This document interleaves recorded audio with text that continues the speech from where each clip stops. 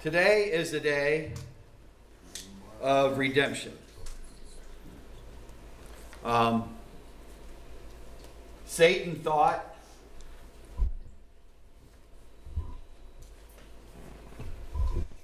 Satan thought at last he had won. Yes, he did. He hung him on the cross. And he died, and the next thing he know, he's standing right in front of him, and he grabbed the keys out of his hand. Amen.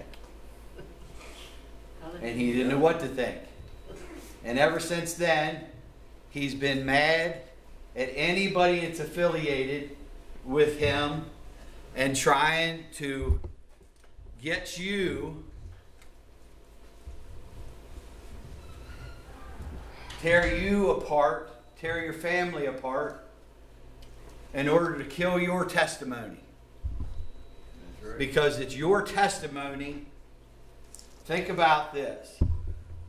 Without your testimony, where's the church? Defeated. Where is the church? There's no church. Right?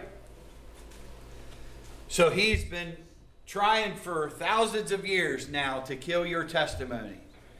And he's been trying, and he's, he almost succeeded. And our federal government finally stood up and said, enough is enough. And said, no, we're not going to give that as a right to kill babies.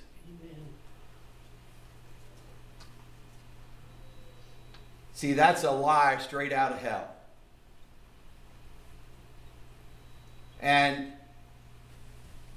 you know, it's not it's it's him him lying to Ken, you know, Ken Ken and I were talking last week and and he had called me and and and um and I said, you know, I'm, I'm glad you called. I, you know, devil tortures me after after the message and and he said well it's just lies.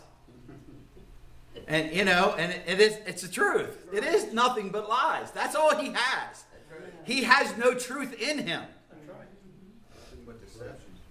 he has no truth in him so um, so he's been trying to kill your testimony for years and kill the church's testimony for years and as long as we stand on the rock the rock of Jesus Christ.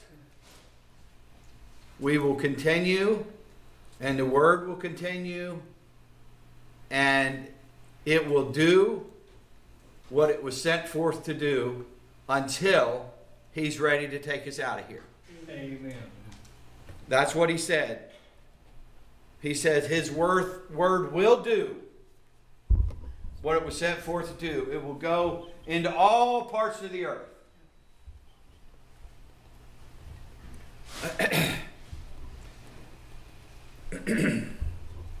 In Romans, the fourth chapter, I'll be bouncing around, so if you want to follow along, you'll have to listen and, and write them down because I don't think I'm going to give you time to flip that fast.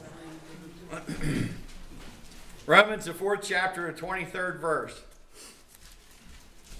Now it was not written for his sake alone that it was imputed to him, but also for us it shall be imputed to, to us who believe in him who raised up Jesus our Lord from the dead, who was delivered up because of our offenses and was raised up because of our justification.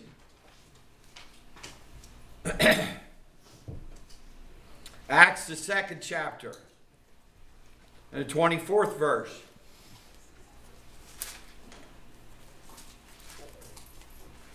who God raised up, having loosed the pains of death. I like that. I really like that. Yep. Because it was not possible that he should be held by it. See, here's where here's where we get stuck. And, and, I'm, and I'm telling you this because I know, because I'm right there with you. I'm in the flesh with you every step of the way, right? But the sooner we get in our thick head up here, that death does not hurt us. Death does not hurt us. We will do more for God. And the reason I say that is because there was a man that God told to take his only son.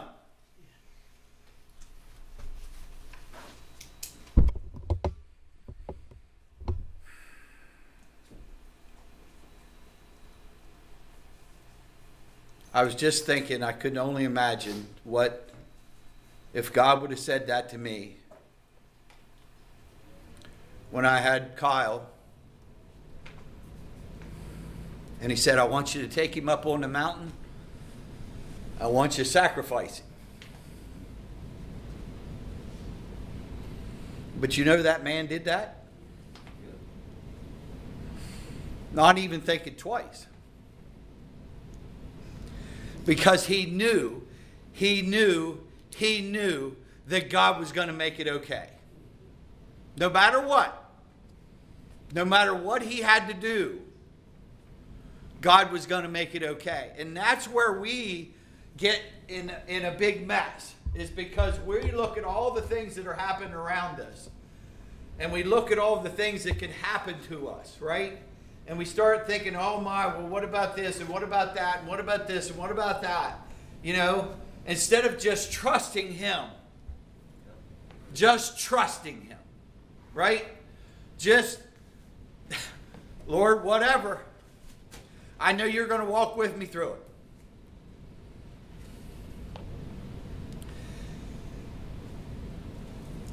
Satan will use hurts in our life against us. Right? He will use hurts in our lives against us. God takes those hurts and restores them. He makes something out of nothing. We can't we can't even I mean, could you imagine? Seriously, put yourself in his shoe. You want me to do what? Take my son up there and put him on the altar? Are you serious?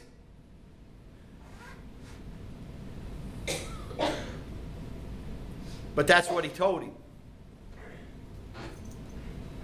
And he did exactly what God told him to do. And then, right before, see, this is where we have to go. We just have to keep going with him. We have to keep going with him. All right? And then we think we can't do any more. We can't, we just can't take it. There's enough is enough. Just keep going and he'll bring the lamb.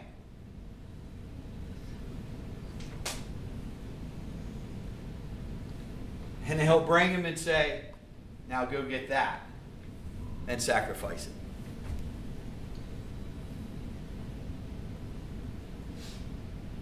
See, we like to give up right before God has something good for us. Right? Because it's in our nature. We have hurts in our nature, right? We've been we've been hurt since we've been little kids, right? You know, we have things coming against us all the time. We have sicknesses come against us all the time. We have we have doctors proclaim things over us that are that are only what they know. Okay? It's only what they know. Right? But if we just listen to what the truth tells us, right? If we just listen to what the truth tells us, there is no. Amen. Amen. And I know it's hard because I'm right there with you, right?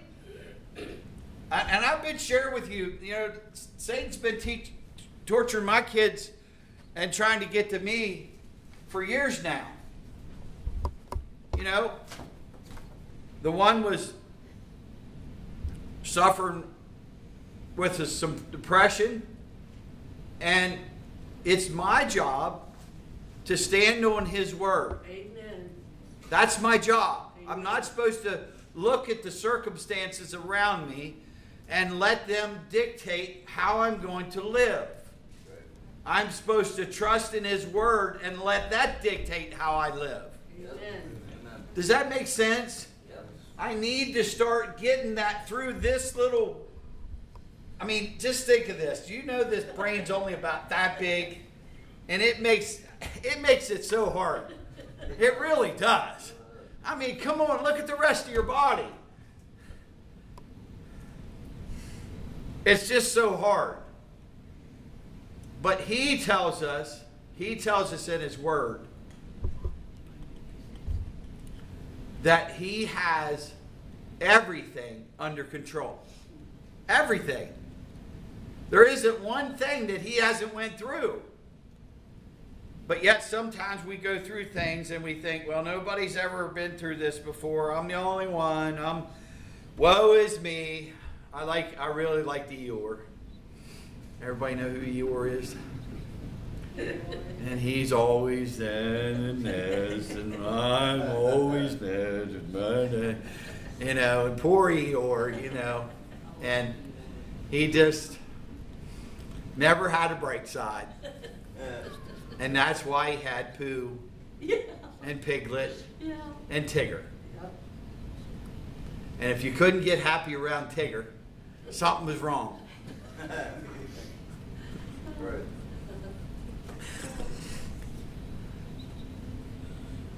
But we sometimes get stuck in that mess.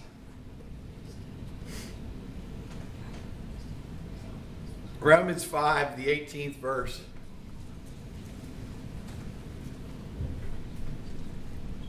Therefore, as through one man's offense, judgment came to all, resulting in condemnation. Condemnation. Even so, through one man's righteous act, the, thr the free gift came to all men, resulting in justification of life. Amen. See, Jesus didn't do it just for the church.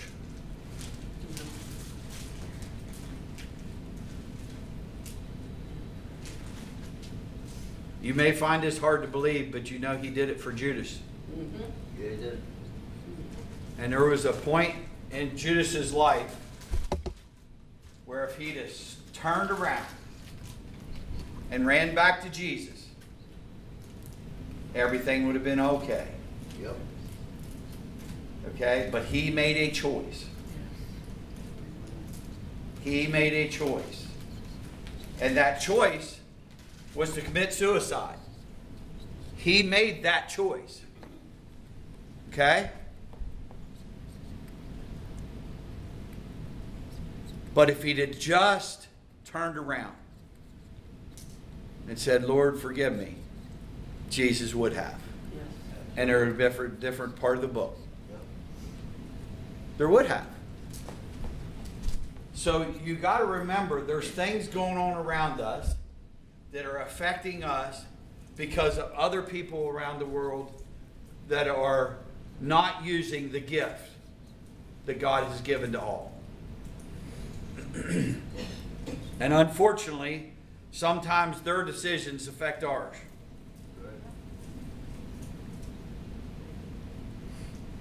1 Corinthians 15 20.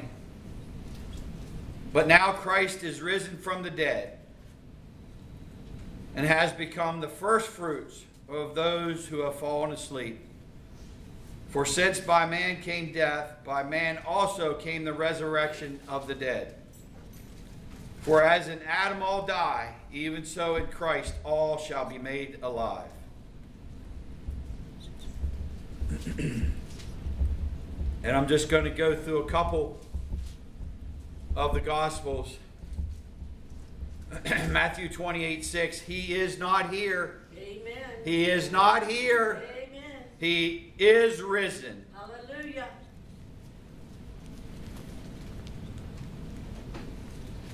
Luke 24, He is not here, but is risen. Amen. Mark 16, Do not be alarmed. You seek Jesus of Nazareth, who was crucified. crucified. He is risen. he is not here. Amen. Amen. And I'm going to finish up with Isaiah, the 60th chapter, the first verse. Arise and shine, for the light has come, and the glory of the Lord has risen upon you. Amen. You, church. Amen. The glory of the Lord has risen upon you. Yes. So when you want to act like Eeyore, remember the tigger's right beside you, bouncing on his tail, Thank you, Really good. I like that, dude. and he'll pick you up. Amen. We're going to have communion this morning, Amen. and I would like a couple volunteers to come up and help me with communion. Hey.